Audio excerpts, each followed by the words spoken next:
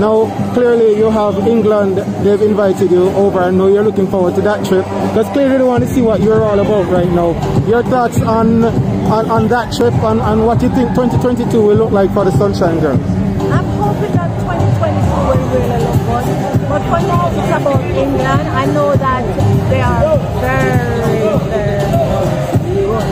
they're doing. They've just come off a, a, a, win against the number two team in the world, and their netball is extremely rising. But I'm not discounting our girls. I know that we are more than capable to withstand the, ch um, the challenge. I thought even Trinidad, their physicality, we know that they're very, very physical. So the, the, the real test was to use our skills against them, our movement, our full court, place the placement of the ball and just forget about their physical. The same thing, we're going into England and we are going to match whatever they come with, we're going to try and counteract it.